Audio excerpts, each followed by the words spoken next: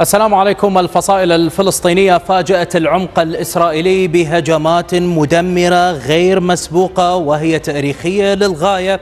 صباح يوم أمس وتحديدا في الساعات الأولى من فجر يوم أمس واستخدم فيها سلاح مثير للغاية. الفصائل الفلسطينية استخدمت هذا السلاح الذي ترونه وهو ليس سلاحا ولكنه عبارة عن مظلة مزودة بالمحركات المروحية. كما تلاحظون هي في العادة تحلق بهذا الشكل في الجو وعادة يكون فيها شخصان. طبعا قائد هذه المظلة بالإضافة إلى شخص آخر وطبعا هذا ما فعلته حماس وكذلك حركة الجهاد الإسلامي من خلال هذا الهجوم. وفجأة الناس والصور الأولى لعملية الاقتحام جاءت بهذه الطريقة بهذه المظلات المزودة بهذه المراوح الصغيرة على علو منخفض للغاية وتتحرك بشكل بطيء. ولكن هذه كلها عبارة عن قضية وعن جزء واحد فقط من العديد من التكتيكات والأمور التي تبعتها الفصائل الفلسطينية في هذه العملية المثيرة للغاية. ما الذي جرى يا ترى؟ العملية طبعا في بادئ الأمر الفصائل الفلسطينية الذي قامت به هي عملية استهداف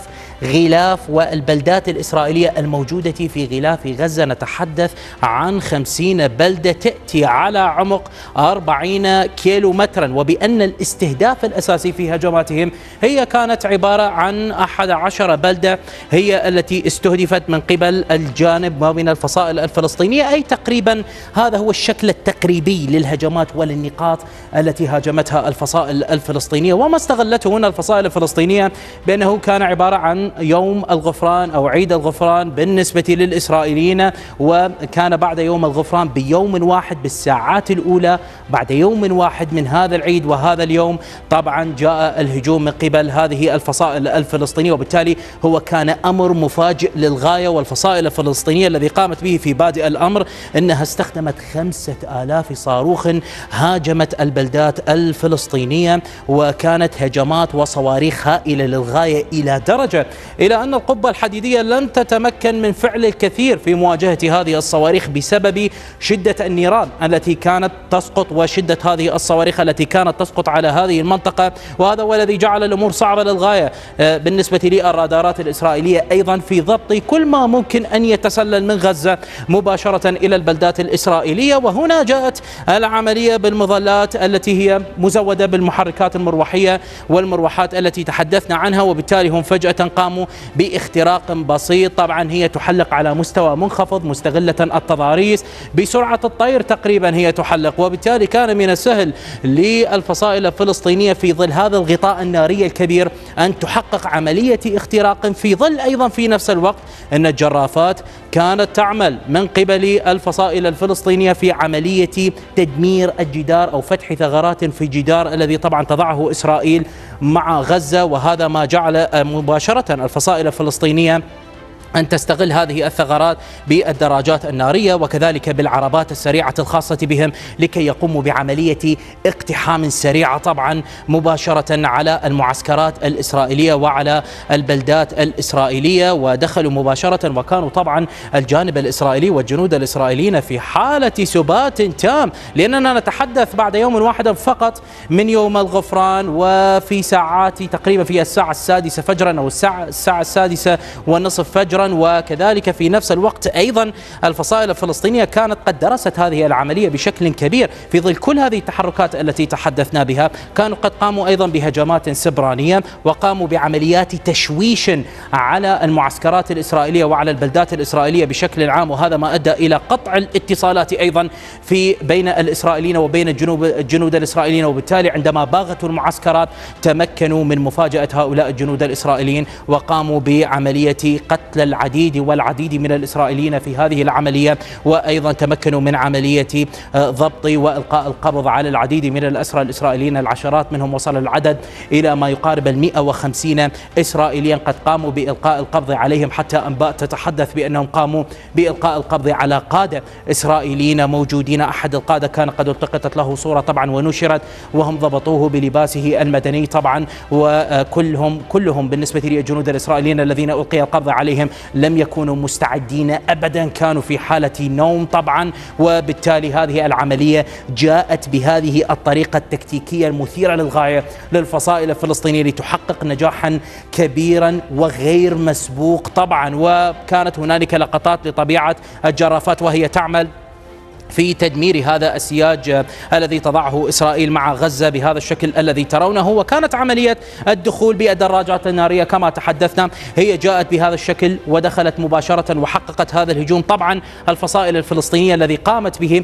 هي هاجمت العديد من النقاط والبلدات. كما تحدثنا 11 بلدة هي التي هاجمتها. اشتبكوا ب 21 نقطة مع الجانب الإسرائيلي وكانوا يسيطرون على ثلاث نقاط تقريبا. وبالتالي هم عندما تقدموا تقدموا إلى منطقة زكيم. هنا هنا في هذه المنطقة تقريبا حتى يقال بأن كان هنالك هجوما أيضا من البحر على هذه المنطقة من غزة وأيضا كانت هنالك بعض المشاغلة من الجانب الفلسطيني على البلدات الإسرائيلية بهذا الاتجاه. وكذلك آه، زدروت أيضا قاموا بعملية الهجوم عليها واختراقها واخترقوا وسيطروا على عدد من البلدات القريبة منها وتقدموا أيضا إلى بلدة رعيم وأيضا كانت عدد من البلدات القريبة منها قاموا بالسيطرة عليها وسيطروا سيطروا حتى على معسكر رعيم وقاموا باقتحامه بشكل واضح ومصور من جانب والفصائل الفلسطينية. وبعد ذلك تقدموا أيضا إلى مجين هنا وسيطروا عليها وبعدها تقدموا إلى منطقة هنا منطقة أخرى تقدموا إلى العمق بهذا الاتجاه وسيطروا عليها. كل هذه البلدات طبعا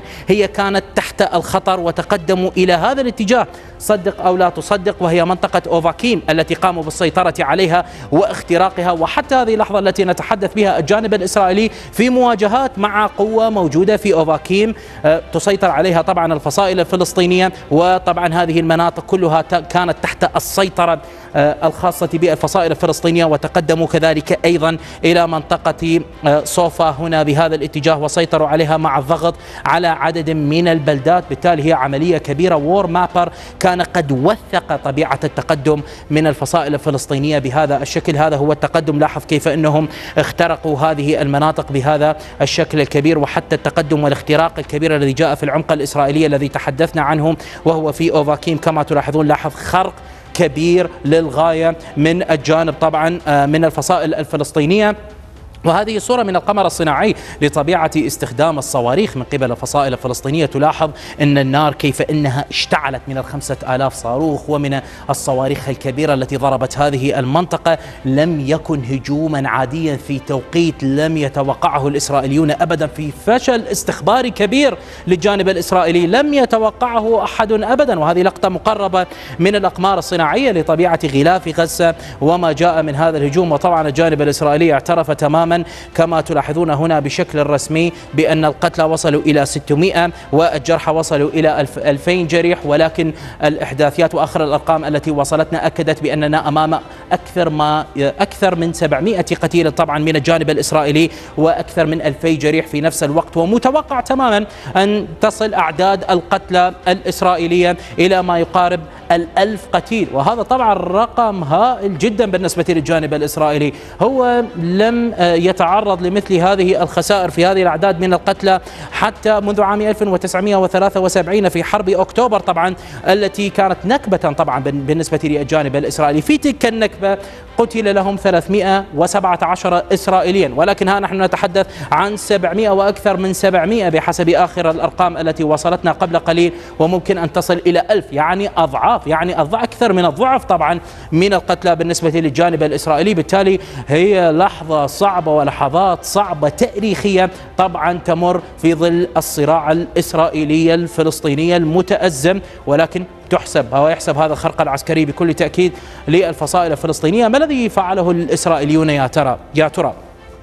طبعا الإسرائيليون بالنسبة لرئيس الوزراء الإسرائيلي بنيامين نتنياهو يوم أمس قام باجتماع بهذا الشكل بقادته الموجودين طبعا من وزير الدفاع الإسرائيلي وغيرهم وكان قد تحدث معهم بشكل واضح بأنهم يجب أن يعملون واعلن بأنهم سيقومون بعملية تطهير غلاف غزة بأكمله وكان هنالك قرارا اسرائيليا كاملا من قبل مجلس الوزراء الأمني الخاص بإسرائيل اتخذوا قرار بتدمير كل القدرات العسكرية والحكومية الخاصة بحماس حماس البنى التحتية كاملة لحماس يريدون تدميرها في العملية القادمة الخاصة بهم. وكذلك الكابينت الإسرائيلي كان قد أعلن بشكل واضح بأنهم الآن في حالة حرب وأطلقوا الآن على العملية الإسرائيلية ضد الفصائل الفلسطينية. أطلقوا عليها السيوف الحديدية وبدأت فعلا إسرائيل بدفع الجانب والفصائل الفلسطينية. كما تلاحظون المناطق التي لاحظناها في الوور مابر كيف أنها تغيرت وبأن الجانب الإسرائيلي طبعا آه، أولى الأمور التي فعلها. هي قطع التيار الكهربائي تماما على قطاع غزة وبدأوا بقصف غزة بشكل كبير للغاية الآن. الجانب الفلسطيني أعلن بأن هنالك 413 قتيلا جراء القصف الذي جاء على غزة وأن هنالك جرحى أيضا كثر وهنالك أطفال ونساء وطبعا الكثير من الجرحى والقتلى بسبب القصف الإسرائيلي. والإسرائيليون الآن قاموا بعملية الهجوم. طبعا كما تلاحظون هم يحاولون تأمين الحدود الخاصة بهم في أولى هذه الأمور. محاولة آه، إبعاد هذه الفصائل الفلسطينية وإعادة السيطرة على الحدود الخاصة بهم تعزيز الأمن في البلدات التي تعرضت لكل هذا الاضطراب الأمني. وبعد ذلك قد يقومون بعملية اقتحام في داخل غزة. يجب أن لا نستغرب في ظل الكلام بأن هنالك رغبة في تطهير آه، المناطق أو محيط غزة الذي تتواجد فيه. طبعا هذه الفصائل الفلسطينية وبدأوا يحذرون السكان الموجودين في عدد من الأحياء الموجودة بين غزة وبين البلدات الإسرائيلية. بدأوا يحذرون عددا منهم ويطلبون منهم عملية الانسحاب إلى الداخل. مما يوضح أن الجانب الإسرائيلي لديه نوايا هذه المرة أكبر وأكثر من أي مرة آه، قد سبقت آه، حقيقة ومن كل الاشتباكات التي رأيناها في السابق الأمور قد تختلف. على سبيل المثال وزارة الدفاع الإسرائيلية كانت قد وضحت وطلبت هنا من شرق حي الشجاعية ما طلبوا من السكان عملية الانسحاب إلى مدينة غزة من هذه النقاط الحدودية لغزة. هذا يعطي مؤشرا خطيرا للغاية. وأيضا هذا حي آخر بالأرقام طبعا عبسان الكبيرة وعبسان الصغيرة إلى خان يونس يطالبون الناس الانسحاب إلى خان يونس. كذلك مخيمات المركز طلبوا منهم من عملية أو الانسحاب إلى مخيمات المركز في شرق وجنوب طبعا آه، المغازي التي ترونها. وكذلك منطقة رفح طلبوا منها من هذين أو هذه الثلاثة أحياء أن يقوموا بعملية الانسحاب أيضا إلى رفح في مؤشر كبير بأن إسرائيل قد تخطو خطوة كبيرة تجاه غزة هذه المرة. ولكن هنالك عامل مفاجئ في ظل أن الإسرائيليون يحاولون هنا محاصرة غزة وتخطيط كبير وكلام كبير من الجانب الإسرائيلي هذه المرة في ظل خسائر كبيرة للغاية تعرضوا لها. يبدو بأن هنالك أطرافا أخرى قد دخلت على الخط ولكنها لا يبدو الأمر وإنما هو أكيد أعلنت طبعا حزب الله اللبناني وقام بمهاجمة الجانب الإسرائيلي ثلاث نقاط في بادئ الأمر ضربوها في مزارع شابعة وكذلك بدأوا يضربون الجانب الإسرائيلي. الإسرائيليون ردوا عليهم ولكن هذه رسالة كبيرة طبعا لبنيامين نتنياهو. هذه تشكل مشكلة حقيقية لبنيامين نتنياهو.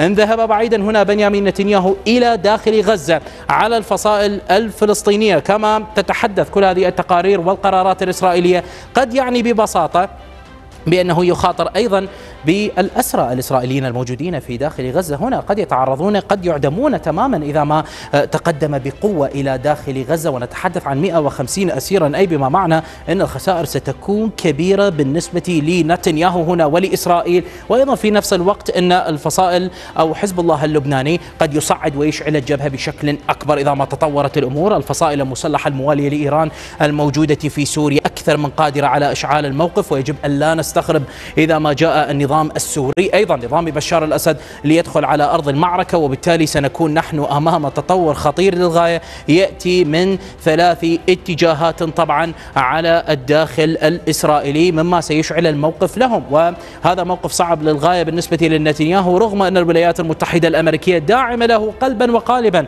في كل ما يجري. وهذا كان واضحا على لسان الرئيس الأمريكي جو بايدن إلا أن الولايات المتحدة حتى هذه اللحظة لا تريد الأخذ بالرواية الإسرائيلية. بأن إيران خططت لهذا الهجوم ولهذه الخطة وهي الرواية الإسرائيلية التي تعتمدها إسرائيل بأن كل هذا تدبير إيراني مع حزب الله اللبناني والفصائل في سوريا وكذلك الفصائل الفلسطينية. فالإسرائيليون والذي يتحدثون عنه هنا وهذه مسألة مهمة يقولون بأن الشهر الماضي كان حسن. نصر الله في اجتماع مع قادة الفصائل الفلسطينية على سبيل المثال الأمين العام لحركة الجهاد الإسلامي زياد خالة كان موجودا في هذا الاجتماع. كانت هنالك أيضا اجتماعات لنفس الأمين العام لحركة الجهاد الإسلامي مع عدد من القادة الشهر الماضي في مؤشر إلى أنهم كانوا يخططون لهذا الهجوم ودخول حزب الله قد يثبت الكثير مما جرى طبعا منذ فجر يوم أمس حتى يومنا هذا. أيضا أحد المتحدثين باسم حماس تحدث إلى البي بي سي وقال بأن إيران هي دعمت الهجوم المفاجئ الذي جاء على إسرائيل. إيران خططت لهذه المسألة بحسب الحديث وبحسب التصريحات وكذلك The Spectator Index أكدت بأن إيران آه، بأنها داعمة تماما لهذه العملية التي قامت بها طبعا حماس وحركة الجهاد الإسلامي في هذه المنطقة. وكذلك عدد من الصفحات المرتبطة بالفصائل المسلحة الموالية لإيران. نشرت صورة لقاء فيلق القدس الإيراني إسماعيل قاآني وقالوا بأنه يتواجد في الخنادق أو في الأنفاق الخاصة بحركة حماس في غزة. لا نعلم متى لا نعلم هل هو فعلا كان هناك أو لا ولكنهم بدأوا يقدمونه كقائد جديد للمنطقة. قد يكون آه، كصورة جديدة لقاسم سليماني والمثير أن هذا الهجوم هو يأتي بعد تصريحات صادرة من المرشد الأعلى الإيراني الإمام علي خامنئي الذي قال بأن إسرائيل تحتضر وقال هذا الأمر في الثالث من أكتوبر. وها نحن اليوم نتحدث عن هجوم هو الأكبر للغاية بالنسبة للفلسطينيين حتى أكبر مما جرى في عام 1973 والمثير بهذه المسألة بأن هذه العملية تأتي بعد كل الأنباء التي سمعناها بأن المملكة العربية السعودية اقتربت من التطبيع مع إسرائيل. الأمر طبعا أصبح معقدا وليس واضحا كيف من الممكن لنتنياهو أن يقدم تنازلات للفلسطينيين بعد كل ما جرى. والسعودية تصر على التنازلات الإسرائيلية لصالح الفلسطينيين كجزء من صفقة التطبيع التي تبحث عنها.